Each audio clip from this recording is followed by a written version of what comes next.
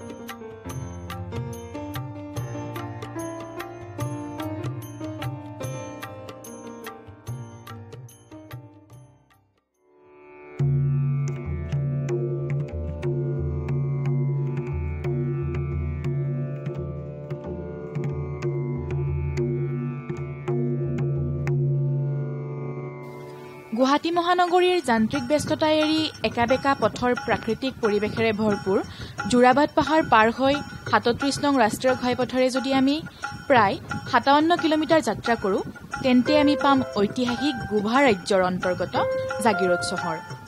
এই চিৰসেউজীয়া জাগিৰোড চহৰখন পুৰণি কালত নখলা নামেৰে জনাজাত আছিল। পাছলৈ ইয়াৰ পৰা জাগিলৈ যোৱা পথৰ নামেৰে জাগিৰোড হয়। এই জাগিৰোড চহৰৰ আশে পাশে বহুতো ঐতিহাসিক তীৰ্থস্থান অৱস্থিত। গুৱাহাটী মহানগৰীৰ যান্ত্ৰিক ব্যস্ততা ফালি আমি আহি উপস্থিত হৈছোঁ জাগিৰোড চহৰত। আৰু ইয়াৰ পৰা কিছুদূৰ গ'লে আমি গৈ পাম ঐতিহাসিক দেওশাল মন্দিৰ। আহক তেন্তে আমি যাত্ৰা আৰম্ভ কৰোঁ। এই জাগিৰোড চহৰত সাতত্ৰিছ নং ৰাষ্ট্ৰীয় ঘাইপথৰ ওচৰতে প্ৰকৃতিৰ চিৰসেউজীয়া পৰিৱেশত ঐতিহাসিক দেওশাল মন্দিৰ অৱস্থিত। এই দেওশাল মন্দিৰ গোভা ৰজাই সপোন দেখি নিৰ্মাণ কৰিছিল। আমি আজি এতিয়া আহি উপস্থিত হৈছোঁ গোভা ৰাজ্যৰ অন্যতম মুখ্য তীৰ্থস্থান দেওশাল মন্দিৰ। এই দেওশাল মন্দিৰভাগ গোভা ৰজাই সপোনত দেখি নিৰ্মাণ কৰিছিল। জনশ্ৰুতি মতে এই দেওশাল মন্দিৰত ভক্তই পূজা অৰ্চনা কৰিলে ভক্তৰ মনোকামনা পূৰ্ণ হয়। ওম ত্ৰম্বকম যজামহে সুগন্ধিম পুষ্টিবৰ্ধনম উৰ্বাৰুকমিব বন্ধনাত মৃত্যুৰ মুক্তি অমৰ্মিতাত আহকচোন আমি ঐ দেওশাল মন্দিৰ দৰ্শন কৰোঁ ॐ त्र्यम्बकं यजामहे सुगन्धिं पुष्टिवर्धनम् বিখ্যাত গুমাৰাজত্বকালৰ এই প্ৰাচীন শিৱ মন্দিৰটো বৰ্তমানৰ এই ৰূপ পাইছে।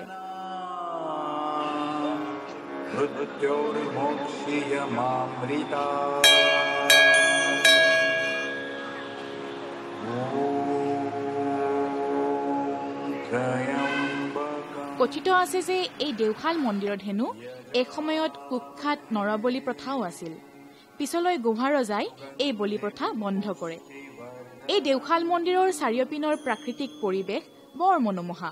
আৰু ইয়েই পৰ্যটকসকলক সদায় হাত বাউল দি মাতে।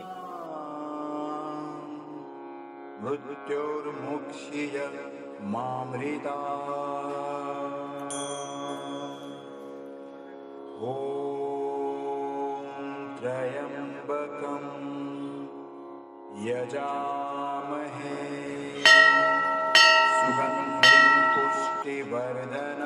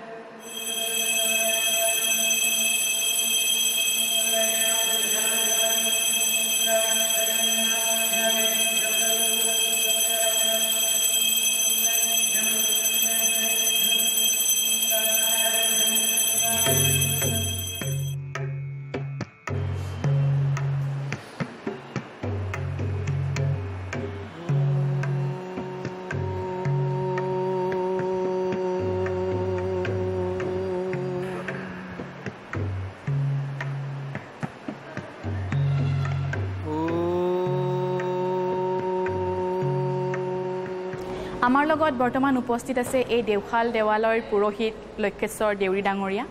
নমস্কাৰ আপোনাক প্ৰথমে স্বাগতম জনাইছোঁ আমাৰ ডি ডি অসম নিবেদিত ব্যতিক্ৰম ধৰ্মী অনুষ্ঠান তীৰ্থৰ দুৱাৰে দুৱাৰে। আপুনি আমাক তথা ৰাইজক এই দেওশাল দেৱালয়ৰ ইতিহাস সম্পৰ্কে কিছু কথা জনাওকচোন।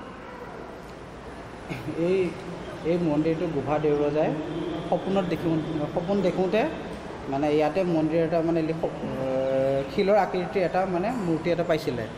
সেই মূৰ্তিটোকে হেৰি কৰোঁতে গুভা দেউৰজাই ইয়াতে প্ৰতিষ্ঠা কৰিলে দেওশাল শিৱথান বুলি। থান আগতে মানে দেওশাল মন্দিৰ বুলি নকয় আগতে আমাৰ গুভাৰ আমাৰ জনজাতীয় মানুহসকলে থান বুলি কয়। সেই থানত মানে এতিয়া বৰ্তমান এই যুগৰ পৰিৱৰ্তনত থানৰ সলনি এতিয়া বৰ্তমান মন্দিৰ বুলি উচ্চাৰণ কৰা হৈছে। ৰজাক প্ৰতিষ্ঠা কৰিছিলে মানে যুদ্ধ কৰিব যাওঁতে বিভিন্ন ধৰণৰ যুদ্ধ বিগতি হওঁতে এই মন্দিৰতে সেৱা শুশ্ৰূষা কৰি মানে ৰণলৈ গৈছিলে যুদ্ধ কৰিবৰ কাৰণে।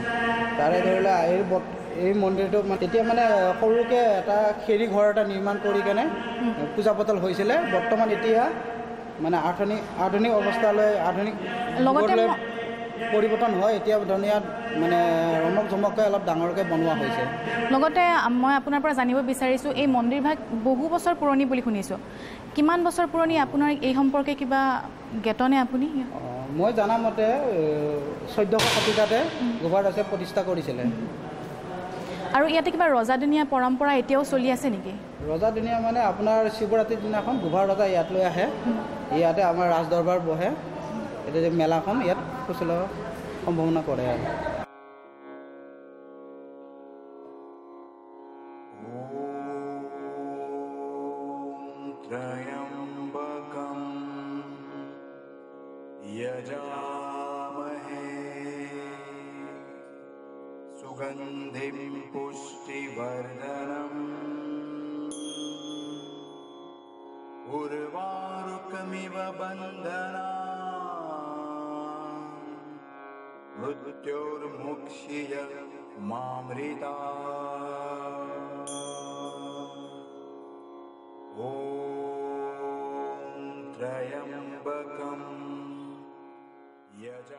আমি এতিয়া এই দেওশাল দেৱালয়লৈ অহা ভক্তপন ৰাইজৰ পৰা দুআষাৰ কথা জানিবলৈ চেষ্টা কৰোঁ আহক।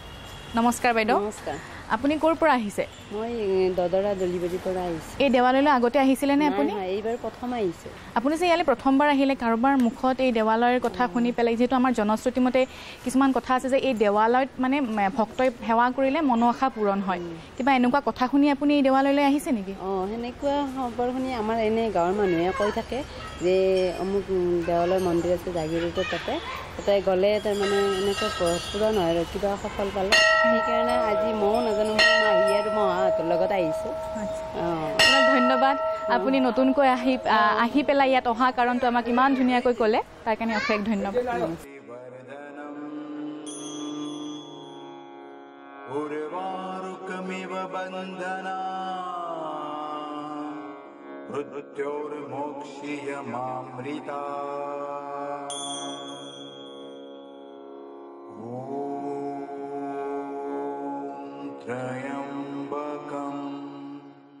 আমি ঐতিহাসিক গোভা ৰাজ্যৰ অন্যতম তীৰ্থস্থান দেওশাল মন্দিৰৰ কিছু কথা জানিলোঁ। আশা কৰোঁ আপোনালোক ইয়াৰ পৰা উপকৃত হ'ব। আহক তেন্তে এই জাগিৰোডৰ অন্য এখন তীৰ্থস্থানলৈ আমি এতিয়া যাত্ৰা আৰম্ভ কৰোঁ।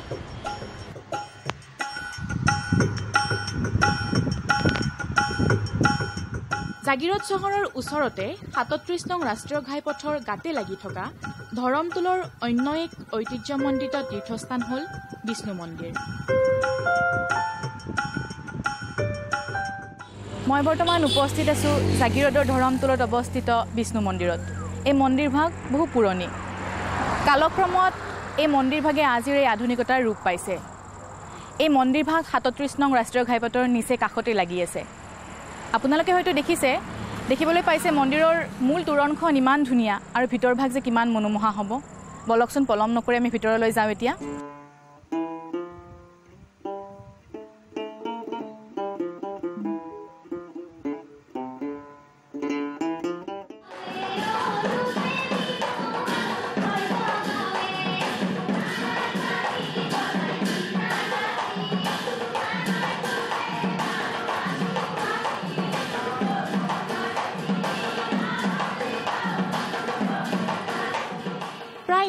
শতিকা পুৰণি তাহানিৰ বিষ্ণু থান আজিৰ এই মনোমোহা ৰূপ পাইছে। এই পৌৰাণিক বিষ্ণু মন্দিৰটো বৰ্তমান আটক ধুনীয়াকৈ নিৰ্মাণ কৰা হৈছে আৰু ইয়াত ভগৱান বিষ্ণুৰ মূৰ্তি বিৰাজমান। প্ৰায় গোটেই বছৰটোৱে ইয়াত অগণন ভক্তৰ সমাগম ঘটে। উজনিৰ পৰা নামনিলৈ অহা প্ৰতিজন ব্যক্তিয়ে ইয়াত এবাৰ হলেও নামি সেৱা জনায়।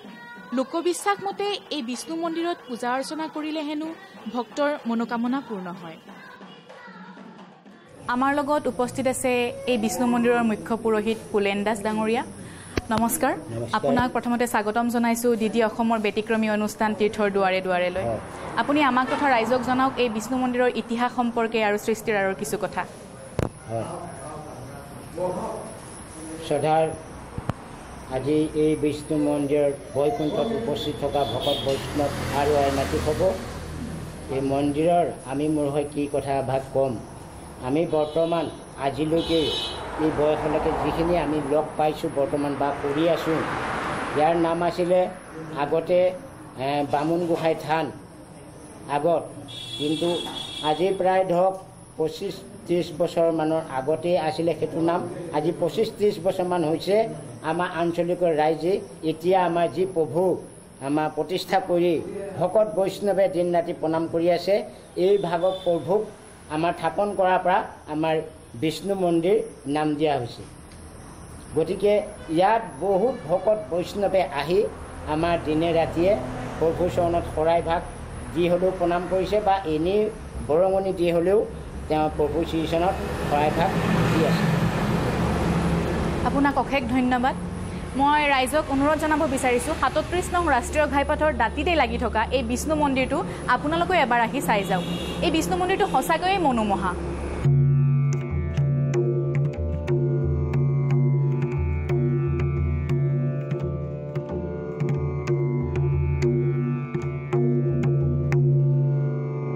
আমাৰ এই বিষ্ণু মন্দিৰ এই অঞ্চলৰ ষোল্লখন গাঁৱৰ ৰাইজৰে জড়িত। এই বিষ্ণু মন্দিৰ পৰিচালনা সমিতিখনত বৰ্তমান সাতাশীজন সদস্যই পৰিচালনা সমিতিখন গঠন কৰা হৈছে। আৰু এই মন্দিৰটোৰ জাগ্ৰত মন্দিৰ হাজাৰ হাজাৰ ভক্তসকলে নিজৰ মনৰ কামনা পূৰণৰ অৰ্থে এই মন্দিৰলৈ আহে আৰু তেখেতসকলে তেখেতসকলৰ পৰা জানিব পৰা মতে তেখেতলোকৰ মনোকামনা পূৰ্ণ হয় বুলি তেখেতলোকে আমাক জানিবলৈ দিয়ে। এই মন্দিৰৰ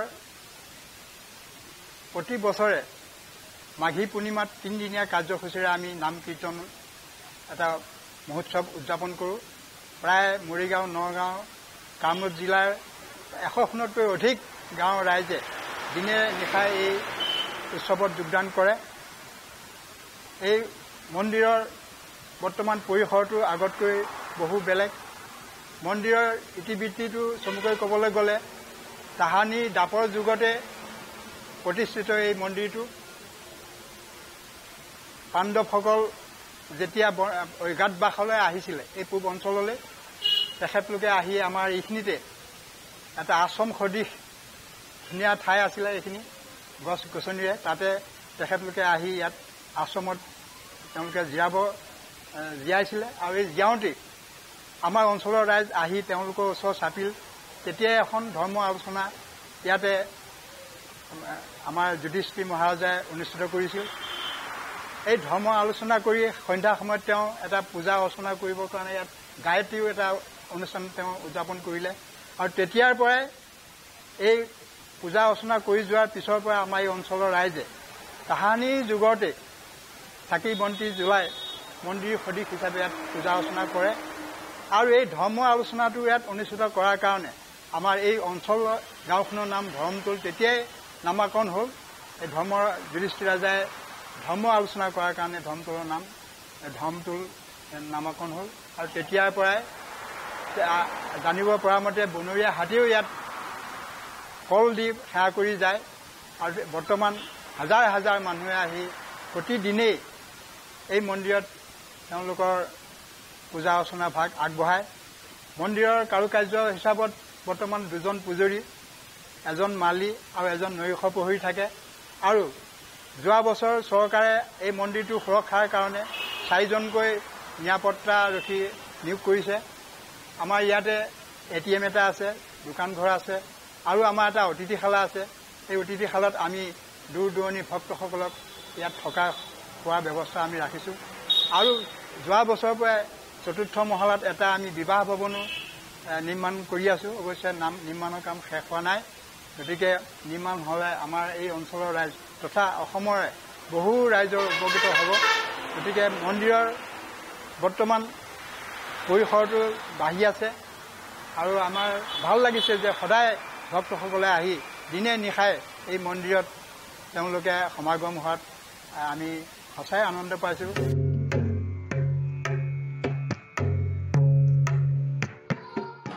প্ৰায় প্ৰতিদিনেই ইয়াত নাম প্ৰসংগৰে ৰজন জনাই থাকে আৰু ভক্তসকল ভক্তিৰসত বুৰ গৈ থাকে। মুঠতে এই বিষ্ণু মন্দিৰ ধৰমটোল অঞ্চলৰ লগতে জাগিৰোডৰো অন্যতম পৰ্যটনৰ কেন্দ্ৰবিন্দু হৈ পৰিছে।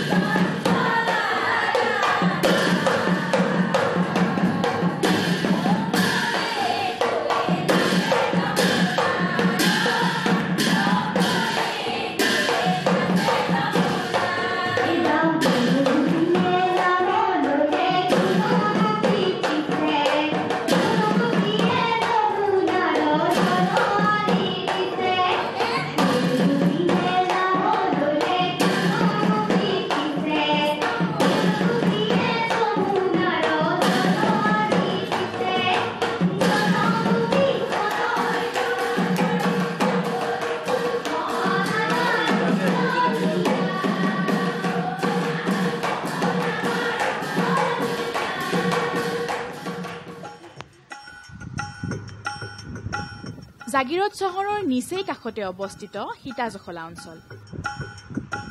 আমি আজি পৌৰাণিক গোভা ৰাজ্যৰ জাগিৰোড চহৰৰ অন্য এক তীৰ্থস্থান সীতাজখলা অঞ্চল আহি পাইছোঁ। আৰু এই বাটেৰে এক কিলোমিটাৰ অতিক্ৰম কৰিলে আমি সীতাজখলা মন্দিৰ পামগৈ। আৰু আপোনালোকক এইখিনিতে মই জনাই থওঁ এই সীতাজখলা মন্দিৰটো এখন পাহাৰত অৱস্থিত যিখন পাহাৰৰ নাম সীতাজখলা।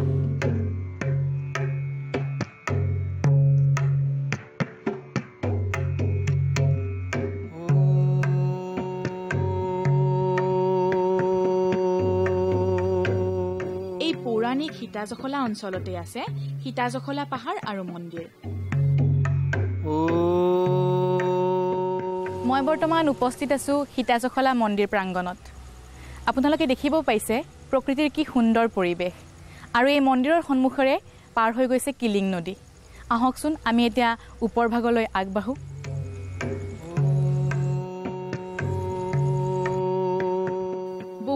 হয়তো নাজানে এই সীতাজখলা পাহাৰতে বাল্মীকিৰ আশ্ৰম আছিল। আৰু য'ত সীতাদেৱীক ৰামে থৈ গৈছিল বুলি জনশ্ৰুতি আছে। মনোমোহা প্ৰাকৃতিক পৰিৱেশত কিলিং নদীৰ পাৰত সুদৃশ্য সীতাজখলা পাহাৰতে অৱস্থিত সীতাজখলা মন্দিৰ। এই মন্দিৰত শিলত কটা সীতাদেৱী হনুমান আৰু লৱকুশৰ মূৰ্তি আছে। আজি আমাৰ লগত বৰ্তমান উপস্থিত আছে এই মন্দিৰ কমিটিৰ উদ্যোক্তা ভানু শৰ্মা ডাঙৰীয়া আমি তেখেতৰ পৰা কিছু কথা জানিবলৈ চেষ্টা কৰোঁ আহক। গোভা গাঁওখনৰ লৈ যোৱা ৰাস্তাৰ কাষতেই লাগি থকা সীতাজখলা সীতা মন্দিৰত আহি উপস্থিত হৈছোহি। আমি জনাত এই মন্দিৰটো অতিকে পুৰণি বুলি কিংবদন্তী আছে। আমি যেতিয়াৰ পৰা দেখিছোঁ এই মন্দিৰত শিলেৰে কটা যিবিলাক চিৰি আছিল সেই চিৰিবিলাকক লৈয়ে অসমীয়া ভাষাত চিৰিক সাধাৰণতে জখলা বুলি কয়। সেই সূত্ৰে চাগে এই অনু তীৰ্থস্থানৰ নামো সীতা জখলা হ'ল। আৰু সীতা জখলালৈ অহাৰ পিছত বহু মানুহে অধ্যয়ন কৰি ইয়াত যে সীতাৰ ঐতিহাসিক কিবা এটা নিশ্চয় আছে বুলি। যেতিয়া ওপৰলৈ যায় তেতিয়া তাত গৈ দেখে যে কিছু ভগ্নাৱশেষ আৰু বাল্মীকি আশ্ৰম ৰূপে এটা প্ৰতিষ্ঠিত এটা আশ্ৰম আছিল। তাৰ পৰাই খনন কৰি কিছুমান বস্তু ইয়ালৈ আনি এই চিৰিৰ ওপৰত স্থাপন কৰি সীতা মন্দিৰ হিচাপে ইয়াত প্ৰাধান্য পায়। এটা সময়ত বাল্মীকি মুনিৰ আশ্ৰমত সীতাই আহি ইয়াত আছিল আৰু সেইখিনি সময়তে সীতা এই আশ্ৰমত থাকিয়ে লৱকুশক সুৰক্ষিতভাৱে ৰাখিছিল বুলি এটা ঐতিহাসিক এটা কিংবদন্তী আছে। আমাৰ এই সীতাজখলা মন্দিৰৰ সন্মুখত থকা যিখিনি ঠাই সেই নদীটো কিলিং নদী বুলি কোৱা হয়। এই কিলিং নদীটো দক্ষিণৰ পৰা উত্তৰলৈ বৈ গৈছে। সেইকাৰণে এই ঠাইডোখৰক তীৰ্থস্থান হিচাপেও প্ৰাধান্য দিয়া যায়।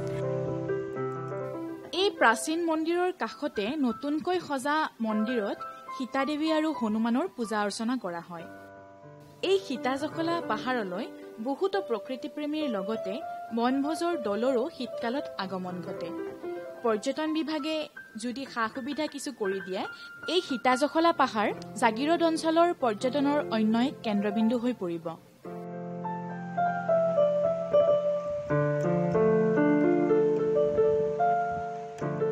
অসমৰ চুকে কোণে সিঁচৰিত হৈ থকা বিভিন্ন তীৰ্থস্থানসমূহ ঘৰৰ টিভি স্ক্ৰীণত দেখুৱাবলৈ ডি অসমে এক ব্যতিক্ৰমী ব্যৱস্থা হাতত লৈছে।